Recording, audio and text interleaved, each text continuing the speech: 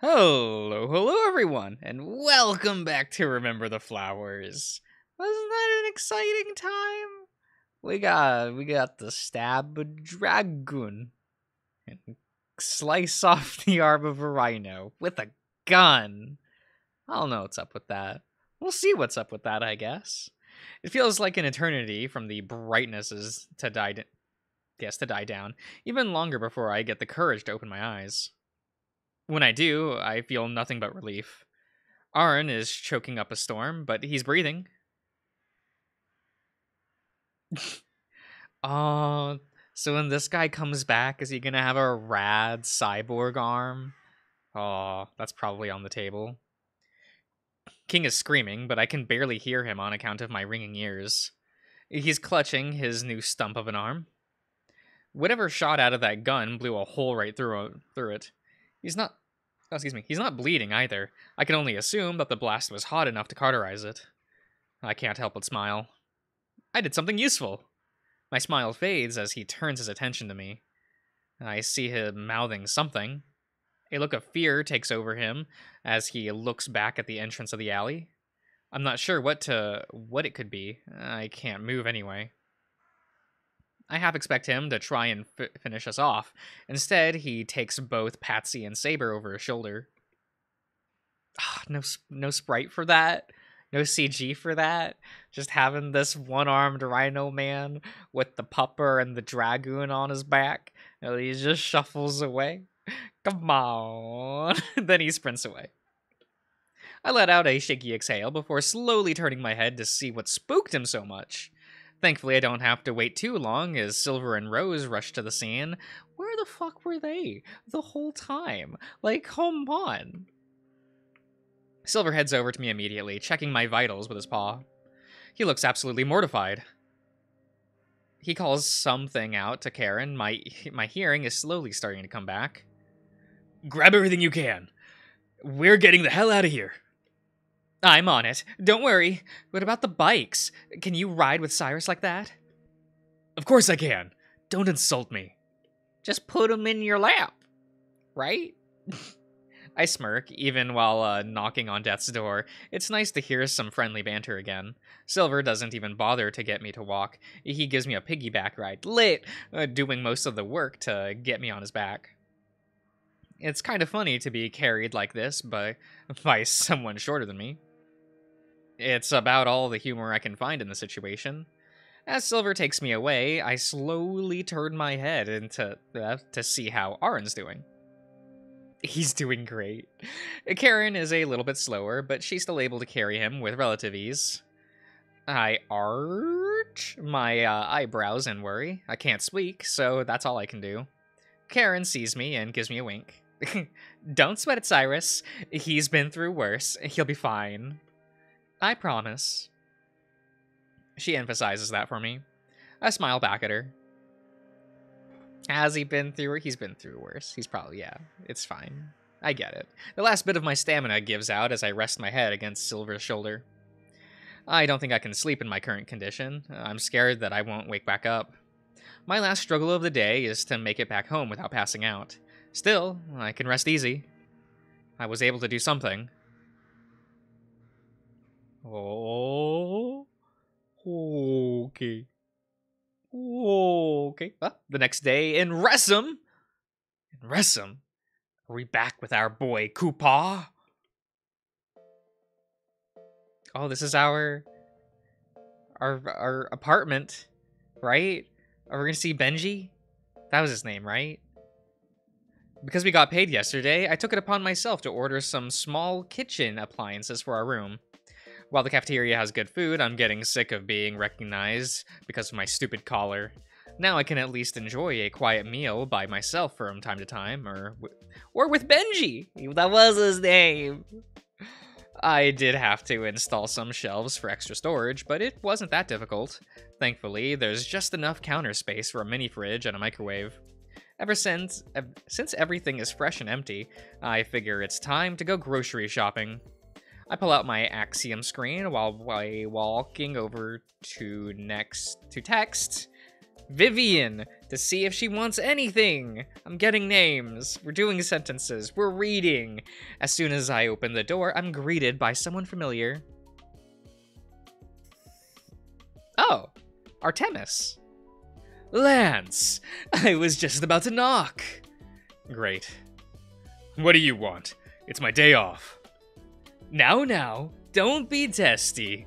Are you free at the moment? I have no idea what voice I did for this man. It's been far, far too long. No, I'm going shopping. The shops will be open well into the evening. There's something I want to see. I want you to see. Artemis chuckles to himself. Trust me, it's a sight you won't want to miss. Right. Can I go now? Artemis stops laughing and gives me a serious look. This is still like my favorite expression It's just For some reason this is always my goal in in real life is to is to say something so that people will give me this look. It's funny. I've brought them to my level. this is an order. Spoil sport. It has to do with a team you'll be working with in the future. Fucking fine. Let's go. I got shit to do. Wonderful. To the underground elevators we go. Fuck me. Artemis takes me down a path at the path of the base I haven't been to before. Anytime I try to ask where we're going to, he shoots me down, telling me not to ruin the surprise. I swear this has to be the most convoluted way to travel. When we're finally in the elevator, Artemis speaks up. Artemis, sorry, sorry for, you know, gotta, gotta pronounce his name correctly. Should you ever get seriously injured while on the job, rest assured, you'll be taken care of here. This is where we take care of our VIP patients, though it's been a while since we've had to resort to extensive treatment. Artemis keeps snickering to himself. What? Just before we we hit our destination, Artemis takes his axiom screen out, but and and materializes a pair of baskets, baskets, like shopping baskets, like picnic baskets, like basketball baskets, like one for each of us.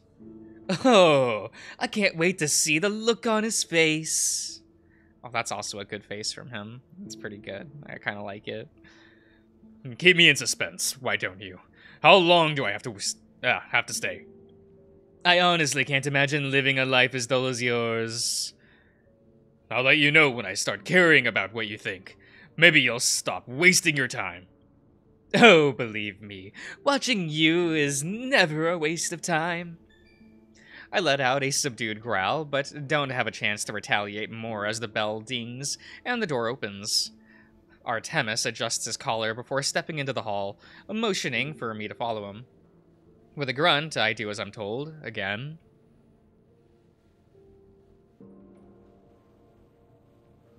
Unlike Vivian's uh, section of the underground, this area seems a lot more normal. It reminds me of the hospital floors above, though notably, noticeably more quality. That's that word. There's that's saying something considering how rich the upstairs looks. That should they should be in room F, which is uh right down this hall. Artemis raises his Artemis raises his axiom up to a sensor in front of the door. After a short beep, the door slides open. I assume we're gonna meet the boys, who we just saw before. The smell of seared flesh hits my nose rather quickly. An annoyed groan from inside follows soon after. Oh, he does still look pretty good. Oh, that's a good expression. That's pretty good. Hmm. Oh, fuck. What the hell do you want, weasel? Oh, everyone just loves Artemis. Ah. Very good, very good. That's life goals right there. oh, come now, don't be like that, king. I come bearing gifts. Unless that includes your res resignation letter, I'll pass. I have enough headaches uh, as it is. Sir, please keep the door closed. But of course. Come now, Lance.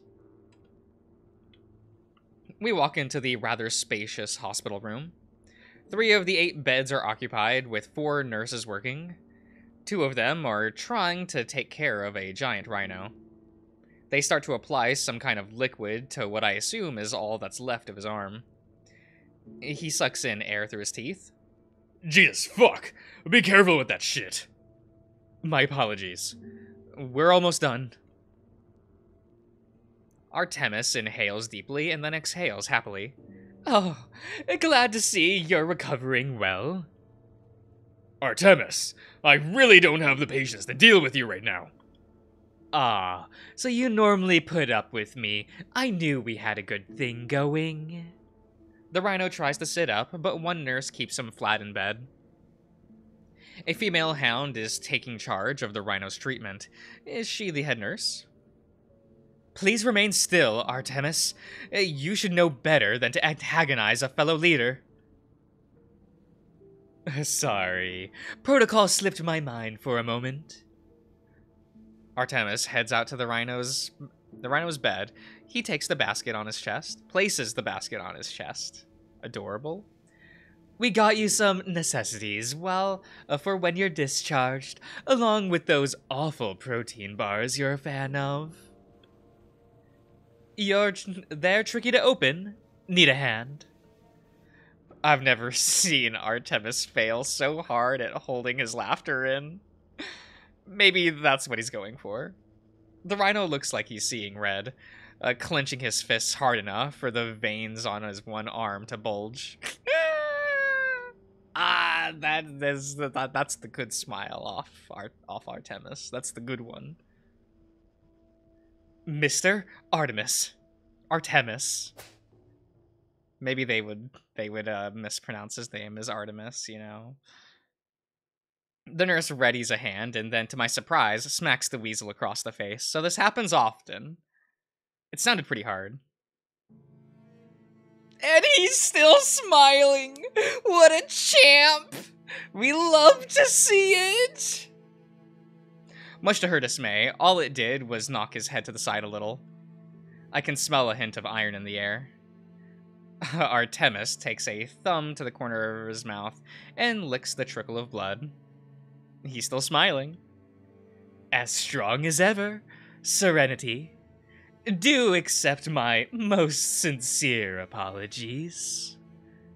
If you keep on with your nonsense, I'll be forced to write a report. Don't forget, you can be you can be held accountable just like the rest of us. Oh, I'm well aware of that, thank you. The nurse turns her attention to me. Maybe it's just because I'm on the edge here, but I'm nearly jumping out of my skin. And you, speak. What business do you have here?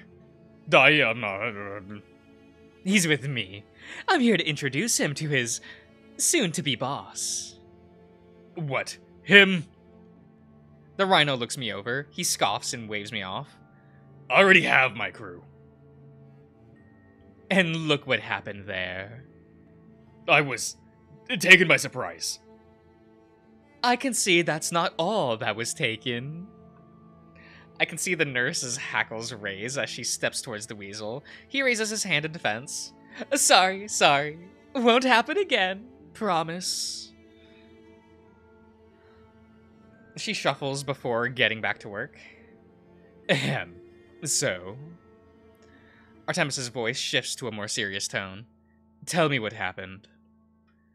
We found a runaway by sheer dumb luck while roaming the streets. One thing led to another, and this is how things ended up. And King uses his thumb to point behind him towards his team. Despite their battered appearance, they're both sleeping soundly in their beds. Artemis clicks his tongue. I never expected you to lose a fight like that. Does Dario know? Oh, does Dario know? Does he know? Sorry, I need to double check that. Yeah, does Dario know? Does he know? I already ripped. Already ripped me a new one earlier today. That sounds like him. He's always trying to show off his authority. I can't help but roll my eyes. Yeah, well, I wasn't it wasn't unwarranted.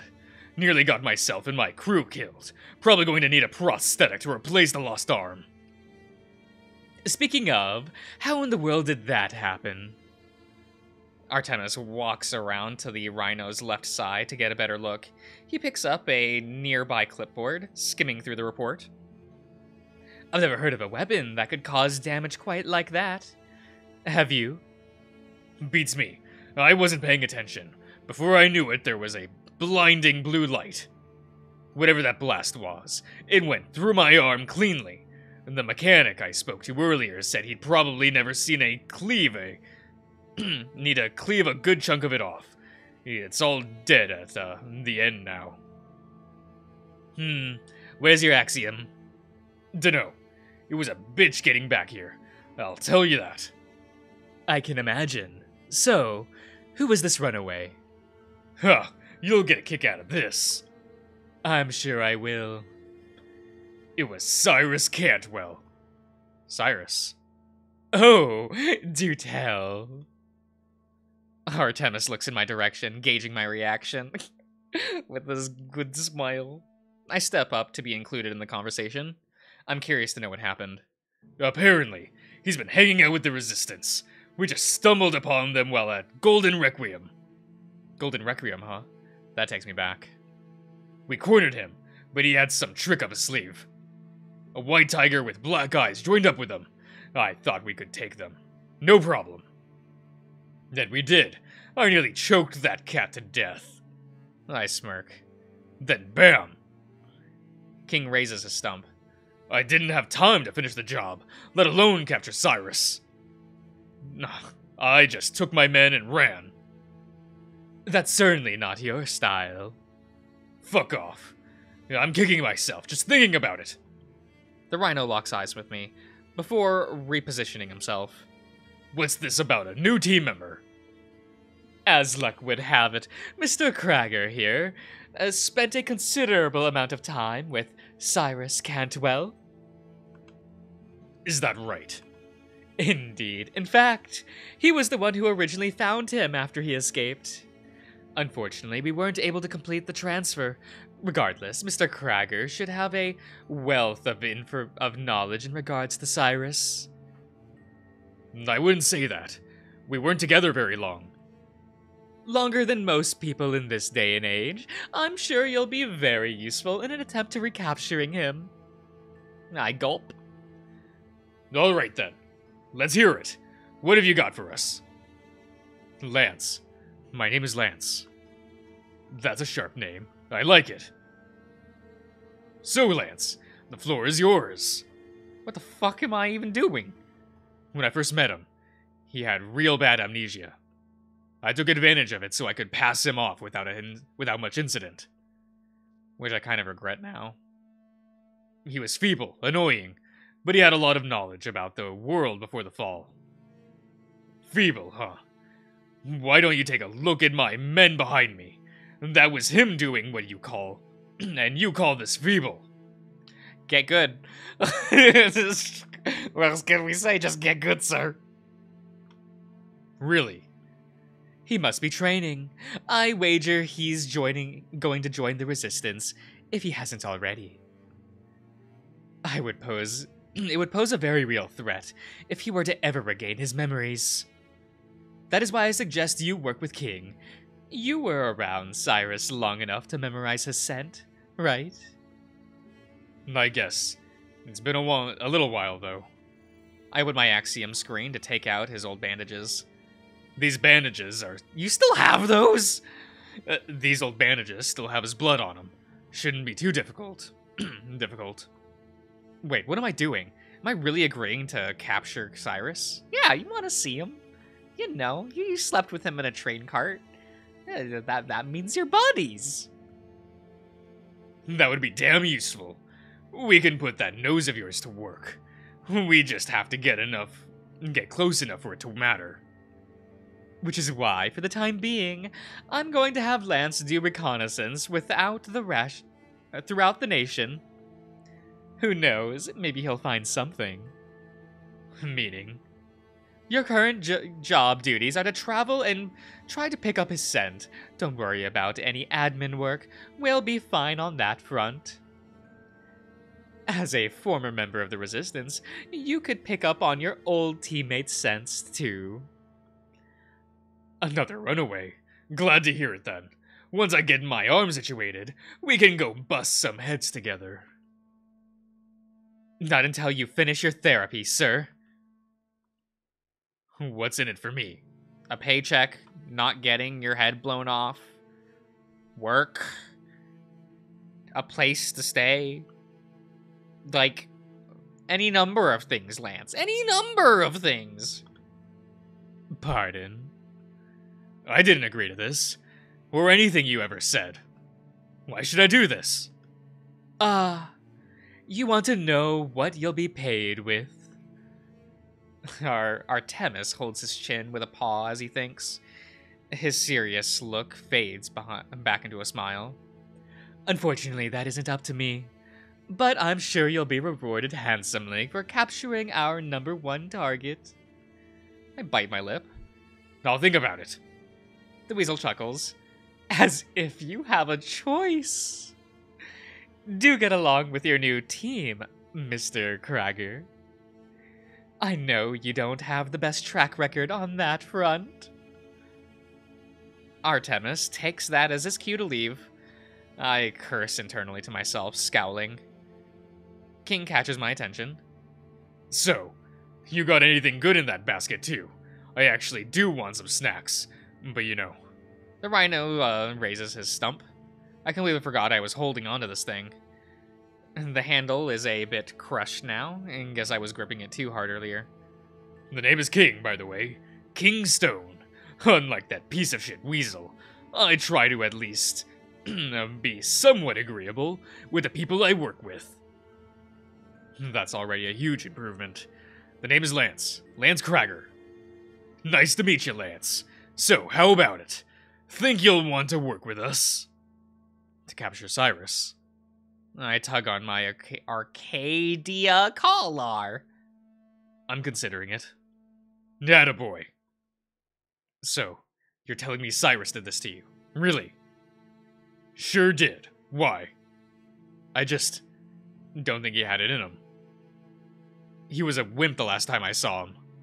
Huh, well, it's true that he got a leg up on me. He then points to his his new stump. And then some. I'll give him this. When push come to shove, he went for the kill. Yeah, he could have aimed for the head. He should have aimed for the head. You know.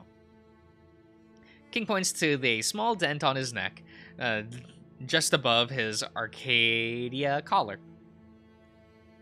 If it were anyone else, he'd have gone straight through with his knife. Wow. I didn't really know what to think about that. I'm glad he grew a backbone, but that's mo- that that'd make it harder for me to capture him. He only got me like it like he did because I was distracted. You should see the shape the other guy was in. Oh, I'd love that. oh my god.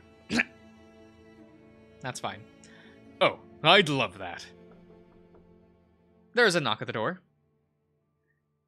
You're kidding me. How many visitors were you expecting today? Get off my back. I'm a busy guy. It's probably the mechanic I called. Honestly. Serenity goes to the door. As soon as she does, she straightens up and salutes. G- g- good afternoon, sir. Uh, to what pleasure do I owe this afternoon? I hear the voice of someone I'd never heard before. At ease, uh, soldier. Relax, it's nothing special. Oh, okay. A human walks in. His attire reminds me of Artemis's. Does he really need to uh, wear a coat like that all the way down here? okay. I'm gonna end the part here, everyone. So, I'll see you guys around.